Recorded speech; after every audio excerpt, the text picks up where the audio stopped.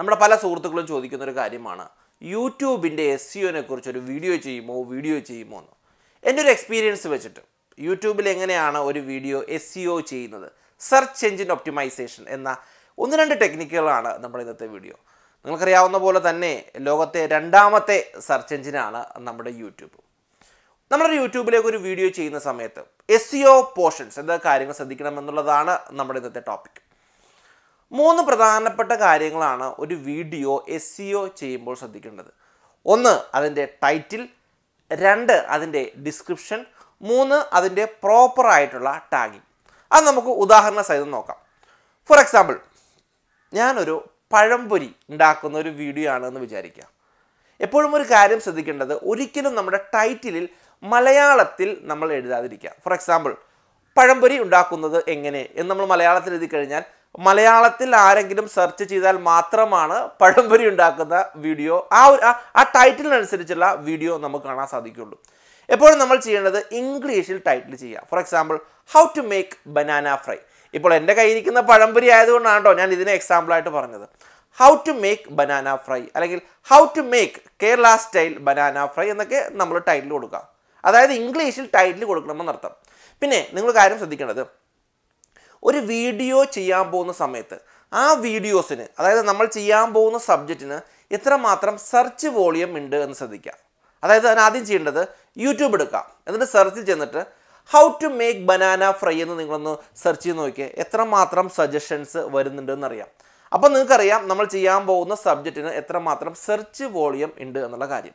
ഇനി രണ്ടാമത്തെ പോർഷനാണ് ഡിസ്ക്രിപ്ഷൻ അപ്പോൾ ആദ്യത്തെ ടൈറ്റിലായിരുന്നു രണ്ടാമത്തത് ഡിസ്ക്രിപ്ഷൻ ഈ പഴംപൊരിയെ കുറിച്ച് തന്നെ പറയുകയാണെന്നുണ്ടെങ്കിൽ ആദ്യത്തെ മൂന്ന് ലൈൻ വളരെ പ്രധാനപ്പെട്ടതാണ്. ഉദാഹരണത്തിന് പഴംപൊരി ഉണ്ടാക്കുന്നത് എങ്ങനെ? പഴംപൊരിയുടെ പ്രധാനപ്പെട്ട ഘടകങ്ങൾ അതായത് ഇൻഗ്രീഡിയൻസ് എങ്ങനെ? അതെല്ലാം ആദ്യത്തെ മൂന്ന് ലൈനിൽ വരണം. അതും സെർച്ച് വോളിയം സാധ്യതയുള്ള കണ്ടന്റുകൾ ഉപയോഗിച്ച് നിങ്ങൾ ഡിസ്ക്രിപ്ഷനിൽ എഴുതുക. ഉദാഹരണത്തിന് ബനാന ഫ്രൈ കേരളത്തിലെ വളരെ എന്താ പറയുക നല്ലൊരു ഭക്ഷണമാണ്. അത് നിങ്ങളുടേതായ രീതിയിൽ ആ ഒരു ആ ഒരു ആ ഒരു സാധനത്തിനെ കുറിച്ച് ഡിസ്ക്രിപ്ഷനിൽ പ്രോപ്പറായിട്ട് എഴുതുക. അതും മലയാളത്തിലാകരുത് ഇംഗ്ലീഷിൽ വേണം എഴുതാൻ. ഈ മലയാളത്തിലാകരുത് എന്ന് ഞാൻ പറയാൻ കാര്യം എന്നറിയോ മലയാളത്തിൽ ആരും സെർച്ച് ചെയ്യില്ല. അല്ലേ? നമ്മൾ മലയാളികൾ പോലും എങ്ങനെ സെർച്ച് ചെയ്യുന്ന? ഇംഗ്ലീഷിലാണ്. എങ്ങനെയാണ് പഴംപൊരി ഉണ്ടാക്കുന്നത്? നമ്മൾ ഇംഗ്ലീഷിലല്ലേ സെർച്ച് ചെയ്യുന്നത്. മലയാളത്തിൽ സെർച്ച് ചെയ്താൽ മാത്രമാണ് നമ്മുടെ വീഡിയോ ടോപ്പിലേക്ക് വരുള്ളൂ. ആരും മലയാളത്തിൽ സെർച്ച് ചെയ്യില്ല. ആരും കുറ്റം പറഞ്ഞിട്ട് കാര്യമില്ല. എല്ലാ ആളുകളും ഇംഗ്ലീഷിലാണ് സെർച്ച് ചെയ്യുന്നത്. അപ്പോൾ ഡിസ്ക്രിപ്ഷൻ ഫീൽഡിൽ ആദ്യത്തെ മൂന്ന് ലൈൻ വളരെ പ്രധാനപ്പെട്ടതാണ്. അത് സെർച്ച് വോളിയമുള്ള ടാഗുകൾ അല്ലെങ്കിൽ സെർച്ച് വോളിയമുള്ള വേർഡുകൾ ഉപയോഗിച്ചിട്ടും വേണം ഡിസ്ക്രിപ്ഷനിൽ എഴുതാൻ. പിന്നെ നമുക്ക് ബന നമുക്ക് ഈ പഴംപൊരിയുടെ കേസിൽ വേണമെന്നുണ്ടെങ്കിൽ how to make banana ingredients എന്തെഴുതാം പഴംപൊരി ഉണ്ടാക്കുമ്പോൾ ചെയ്യേണ്ട ഇൻഗ്രീഡിയൻസ് ഏതാണെന്നൊക്കെ നമുക്ക് പ്രോപ്പറായിട്ട് എഴുതണം. അത് വളരെ പ്രധാനപ്പെട്ട ഏരിയ തന്നെയാണ് കേട്ടോ.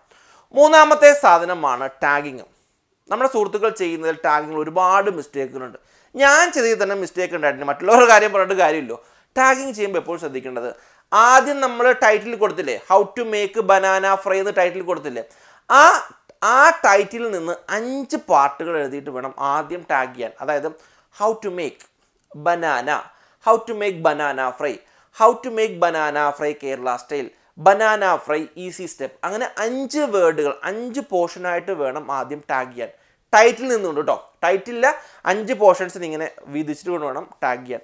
ഇനി ഡിസ്ക്രിപ്ഷനിലേക്ക് വന്നു കഴിഞ്ഞാൽ ഡിസ്ക്രിപ്ഷനിലുമുള്ള അഞ്ച് പോർഷൻസ് ടാഗ് ചെയ്യണം. For example banana fry ingredients banana ഫ്രൈയിൽ കൊടുത്തേക്കുന്ന കാര്യങ്ങൾ. അത് അത് ഡിസ്ക്രിപ്ഷനിൽ കൊടുത്തിട്ടുള്ള അഞ്ച് വേർഡുകൾ ടാഗ് ചെയ്യണം. അപ്പോൾ എത്രയായി?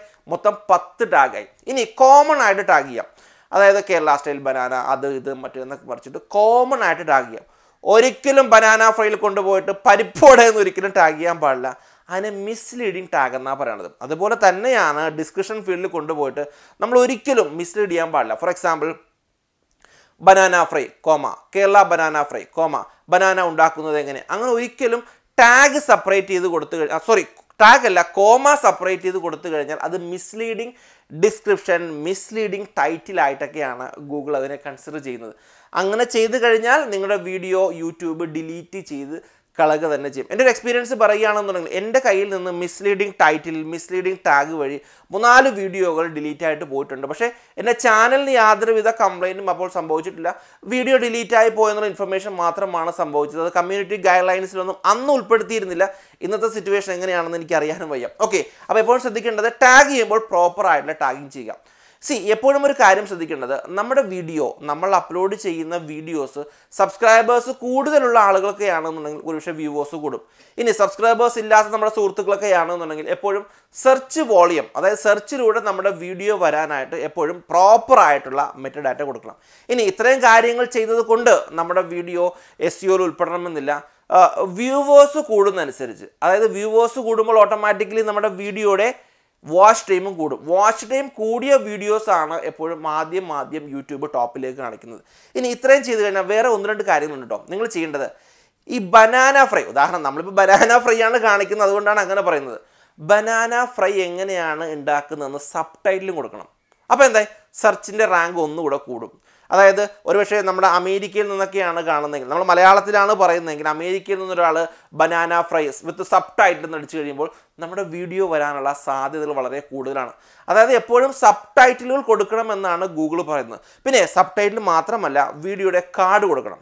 കാർഡ് കൊടുക്കുമ്പോൾ നിങ്ങൾ കാര്യം ശ്രദ്ധിക്കേണ്ടത് ഒരിക്കലും ആദ്യത്തെ ഒന്ന് രണ്ട് മിനിറ്റിൽ കൊടുക്കാതിരിക്കുക. ഒരു സെവന്റി ഫൈവ് പെർസെന്റേജ് അല്ലെങ്കിൽ എയ്റ്റി ഫൈവ് പെർസെന്റേജ് വീഡിയോ കഴിഞ്ഞതിന് ശേഷം മാത്രമാണ് ടാഗ് കൊടുക്കേണ്ടത്. ടാഗ് അല്ല കാർഡ് കാർഡ് എന്ന് പറഞ്ഞാൽ അറിയാലോ നമ്മൾ വീഡിയോ കാണുമ്പോൾ ടോപ്പിൽ നിന്ന് പറയുന്ന സാധനത്തിനാണ് കാർഡ് എന്ന് പറയുന്നത് അത് കൊടുത്തു കഴിയുമ്പോൾ എന്താണെന്നറിയോ? ആദ്യം കൊടുത്തു കഴിഞ്ഞാൽ നമ്മളൊരു വീഡിയോ ഇടുമ്പോൾ തന്നെ ഈ കാർഡ് വന്നു കഴിഞ്ഞാൽ ആളുകൾ അതേ ക്ലിക്ക് ചെയ്തിട്ട് ആ വീഡിയോ കാണാനുള്ള പോസിബിലിറ്റീസ് കൂടും. അപ്പോൾ ഒരുപക്ഷെ നമ്മുടെ വീഡിയോ കാണില്ല. നമ്മുടെ വീഡിയോസിന് വ്യൂവേഴ്സും കുറയും വാച്ച് ടൈമും കുറയും. അപ്പോൾ ഒരിക്കലും എപ്പോഴും ഒരു എയ്റ്റി ഫൈവ് പെർസെന്റേജ് കഴിഞ്ഞിട്ട് വേണം എപ്പോഴും നമ്മൾ കാർഡ് കൊടുക്കാനായിട്ട്. ഇനി അടുത്ത പ്രധാനപ്പെട്ട കാര്യമാണ് എൻ സ്ക്രീൻ ഇപ്പോൾ അറിയാലോ എൻ സ്ക്രീൻ എന്ന് പറഞ്ഞ പരിപാടിയുണ്ട്. അതും എല്ലാവരും പ്രോപ്പറായിട്ട് കൊടുക്കുക. ഇത്രയും കാര്യങ്ങൾ ചെയ്തു കഴിയുമ്പോഴാണ് നമ്മുടെ വീഡിയോ പ്രോപ്പർ എസ് എന്ന് പറയാൻ സാധിക്കുക. പിന്നെ വളരെ പ്രധാനപ്പെട്ട കാര്യം നിങ്ങൾക്ക് ആരെങ്കിലും കമന്റ് ചെയ്ത് കഴിഞ്ഞാൽ ആദ്യത്തെ ഇരുപത് കമന്റിനെങ്കിലും നിങ്ങൾ പ്രോപ്പറായിട്ട് റിപ്ലൈ ചെയ്യണം. കാര്യം കമന്റിങ് വരെ ഇപ്പോൾ യൂട്യൂബ് ശ്രദ്ധിച്ചു തുടങ്ങിയിട്ടുണ്ട്. അപ്പോൾ ഇത്രയും കാര്യങ്ങൾ നിങ്ങളൊന്ന് ചെയ്തോളൂ. ഡെഫിനറ്റ്ലി നിങ്ങളുടെ വീഡിയോ സെർച്ചിൽ വരിക തന്നെ ചെയ്യും. ഒന്നാമത്തെ കാര്യമാണ് ടൈറ്റിൽ ഒരിക്കലും മലയാളത്തിൽ ടൈറ്റിൽ കൊടുക്കരുത്. ഇംഗ്ലീഷിൽ കൊടുക്കാം. ഡിസ്ക്രിപ്ഷൻ ഡിസ്ക്രിപ്ഷനിൽ ആദ്യത്തെ മൂന്ന് ലൈൻ വളരെ പ്രധാനപ്പെട്ടതാണ്. അത് സെർച്ച് വോളിയമുള്ള കീവേഡുകൾ ഉപയോഗിച്ചുകൊണ്ട് ഡിസ്ക്രിപ്ഷൻ എഴുതുക. മൂന്നാമത്തെ കാര്യമാണ് ടാഗിങ് അറിയാലോ? ബനാന ഫ്രൈക്ക് ഒരിക്കലും പരിപ്പോടെന്ന് കൊടുക്കരുത്. അത് മിസ്ലീഡിങ് ടാഗാണ് പ്രോപ്പർ ആയിട്ടുള്ള ടാഗിങ് കൊടുക്കുക. എങ്ങനെ ചെയ്യണമെന്ന് പറഞ്ഞു. ആദ്യത്തെ ടൈറ്റിൽ നിന്ന് അഞ്ച് പോർഷൻസ് എടുത്തിട്ട് ടാഗ് ചെയ്യുക. ഡിസ്ക്രിപ്ഷനിൽ നിന്നുകൊണ്ട് അഞ്ച് പോർഷൻസ് എടുത്തിട്ട് ടാഗ് ചെയ്യുക. പിന്നെ കോമൺ ആയിട്ടുള്ള ടാഗ് കൊടുക്കുക. സബ് ടൈറ്റിൽ കൊടുക്കുകയാണെങ്കിൽ നമുക്ക് പറ്റുമെന്നുണ്ടെങ്കിൽ ഡെഫിനറ്റ്ലി സബ് ടൈറ്റിൽ കൊടുക്കുക. കാർഡ് കൊടുക്കുക. എൻ സ്ക്രീൻ കൊടുക്കുക. ഇത്രയും കാര്യങ്ങൾ ചെയ്ത് കഴിയുമ്പോൾ ഡെഫിനറ്റ്ലി നിങ്ങളുടെ വീഡിയോയും സെർച്ചിലേക്ക് വരും. ഞാൻ ആലോചിക്കുന്നുണ്ട് ആഴ്ചയിൽ ഒരു ദിവസം അല്ലെങ്കിൽ രണ്ടാഴ്ച കൂടുമ്പോൾ ഒന്ന് രണ്ട് യൂട്യൂബ് ടിപ്സുകൾ നമ്മുടെ സുഹൃത്തുക്കൾക്ക് പറഞ്ഞു കൊടുത്താലോ എന്ന്. കാര്യം എന്താ എല്ലാവരും വളരട്ടെ എല്ലാവരും വളരുമ്പോഴാണ് ഒരു രസമുള്ളത്. അല്ലാണ്ട് കുറേ ആളുകളുടെ വീഡിയോ സബ്സ്ക്രൈബേഴ്സ് കൂടുന്നു കുറേ ആളുകളുടെ വീഡിയോസിന് വ്യൂവേഴ്സ് കൂടുന്നു.